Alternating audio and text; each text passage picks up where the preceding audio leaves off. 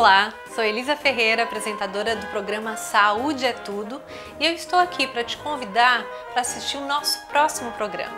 Um programa que vai tratar da saúde da população negra.